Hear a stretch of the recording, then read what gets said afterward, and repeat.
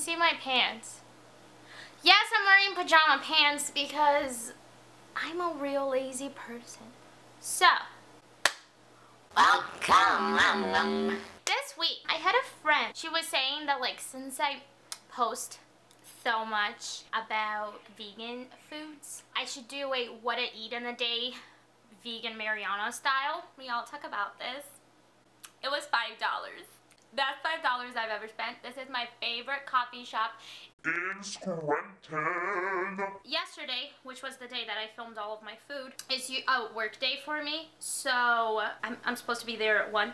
So I go to work at like 12ish I have to leave here. So what I usually do, which I didn't film, is I just have a cup of coffee in the morning and because I have lunch, why do I say um so much? I seriously don't know why I say um so much. It's so difficult to edit this stupid video now. Because basically, my whole point is that I don't need anything for breakfast. I just have coffee because I have lunch early in the day.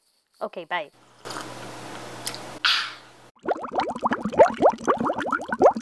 For lunch, I had a BLT, which now there's an E. coli outbreak, and I might die because I had lettuce, but whatever. It's, it's fine. As them vegans call them, bacon. Yeah, I had bacon uh, that I make out of tofu. I had it with tomatoes, onions, red onions, sriracha mayo that I... I had it on a whole wheat bread. For drink, I always drink just water. I always have these fig bars, which I bought a big pack, which make me so happy.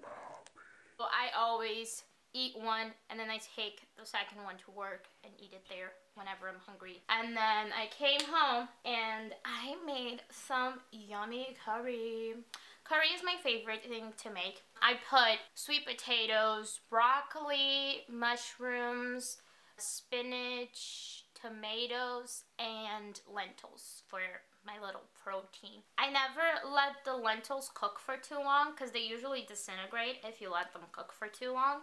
I let them have a little bit of a bite to them and I just put curry and a bunch of different spices. I put like turmeric. I always put turmeric in everything. That's why everything that I make turns out yellow. So yeah, that's pretty much what I eat in a day. Okay, that's it. Goodbye.